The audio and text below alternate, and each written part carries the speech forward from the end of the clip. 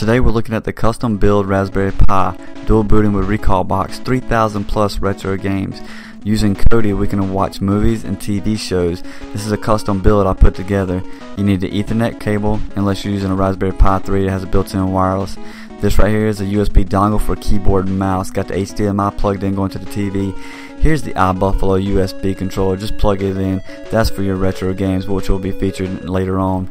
Here's the operating system which is dual booted with Recalbox It's showing you the menus I got nice and neat here. Here's the movies. Going to Exodus first. Gonna check out Exodus. Gonna pick a movie. You got TV shows. You got different categories you can pick. Genre, year, people. So I'm going here. I'm going to 2016. Gonna find a movie. Just look at the different movies you can choose from. I'm gonna scroll down here. I'm gonna click on The Secret Life of Pets. Haven't watched that movie yet. Not even really interested in it. But just for the sake of the video, I'm going to click on it.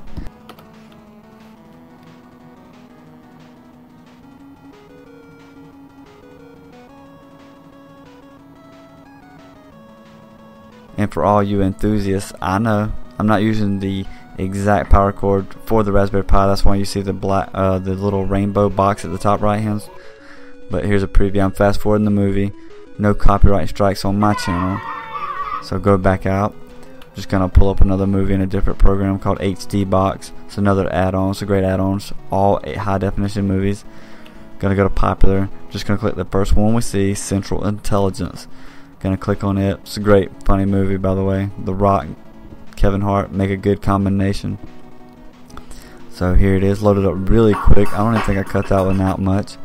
Um, here it is. I'm fast forwarding it just to get to the movie, just to see the quality of it.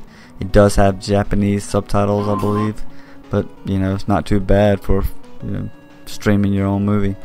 So I'll go ahead and cancel that. And now we're gonna launch Recalbox.